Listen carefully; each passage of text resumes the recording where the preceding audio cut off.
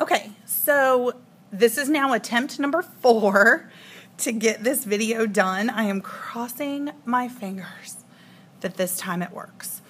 Um, this particular review is all about local governments. Um, there were quite a few of you that needed it, and I think it has something to do with just the different names um, and kind of how confusing that is. But just remember that it doesn't matter what level you're at, whether you're national, state, or local. If you are a legislature, you do the same thing at the local level that you do at the national level, same for the executive branch, same for the judicial branch. So if you know that the legislative branch makes the laws, the executive branch executes the laws, and the judicial branch interprets the laws, then this is just another name for what you already know. So, looking across this top part, the first thing we're going to talk about are the legislatures. Well, legislative branches, what did I just say? Make laws. Okay? So, legislative branches make laws. It does not matter that these are local legislatures. Local legislatures make laws just like state legislatures make laws and just like the national legislature make, makes laws. Excuse me. So, where is this difficult? Right here. And the fact that they're called something different in a county, in a town, and in a city. So, what are they called? Well, in a county, they're called a board of supervisors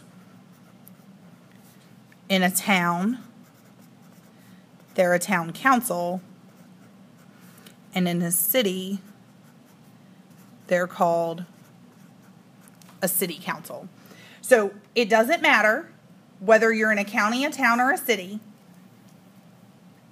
It doesn't matter whether it's the Board of Supervisors, the Town Council, or the City Council. All that matters is that these three groups are legislatures, and legislatures make laws. Now, in the local level, we call those ordinances. Ordinances are just local laws. So, Board of Supervisors, Town Council, City Council make ordinances, otherwise known as local laws. So, what else do you have to know about the local governments? Each county and city has an elected school board. What do you think the school board does?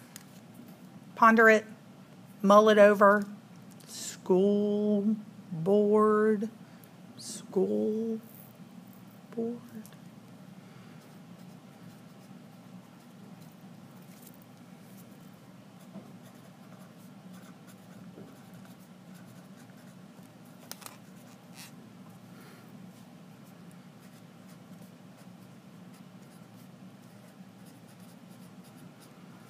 So they oversee the operation of K 12 schools. So it's school board oversees the schools, right? There's your connection right there. And it's K 12 schools because they they don't work with um, colleges, community colleges or four year colleges. Um, they work only with um, elementary schools, middle schools, and high schools. In local governments, cities, towns, and counties have an executive branch. What's the executive branch do? Everywhere they execute the laws. So the person who holds that position is either called a mayor or a manager. Sorry. So the executive branch always executes the laws. So whether it's the president, whether it's the governor, or whether it's a mayor or a manager, they all do the same thing. They execute the laws. Why? Because the president, the governor, the mayor, and the manager are all part of the executive branch, and the executive branch always, always, always executes the laws. It's that simple. Mayor, manager, executive branch, executive branch executes the laws. This last sentence down here, we've already talked about up here, local governments pass ordinances for their county, town, or city. So, Board of Supervisors, Town Council, City Council, they're all passing ordinances that people in their county, towns, or cities have to follow. So this is the basic kind of structure of the local governments. This page is what they do. So we are going to complete this together.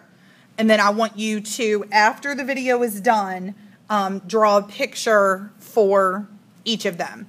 So local governments have the power too. So what can local governments do?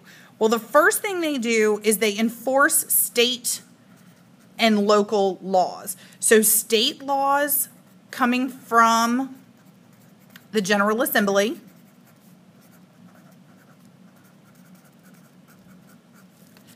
Local laws coming from the local legislature.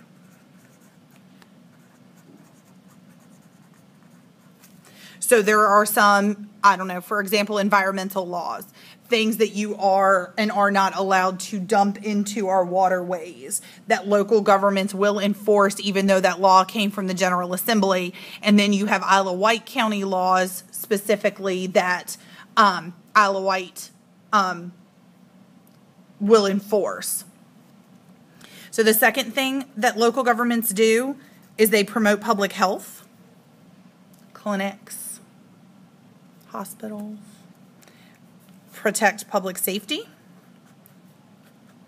sheriff's department, fire departments, EMTs. They educate the children, right? That's what the school board's here for. This would be K 12 students. So, students who are in kindergarten through 12th grade. They protect the environment. the environment within their locality is their is their responsibility to protect it. They regulate land use. So Isle of Wight County has the right to say, yes, Green Mountain, we are going to give you some of this land in Windsor to use for a factory. No, some other company, we are not going to give you any land. And then the last thing is that they can levy and collect taxes which in most localities is things like um, property tax. There might be a sanitation tax for trash pickup. Um, sometimes there's a water tax um, for water usage. But these are the things that local governments will do not all that dissimilar to what the state does um, because they are very, very linked. Um, so go back and for each of these seven things, either down here at the bottom or next to it, wherever you want, draw a picture to help you remember this.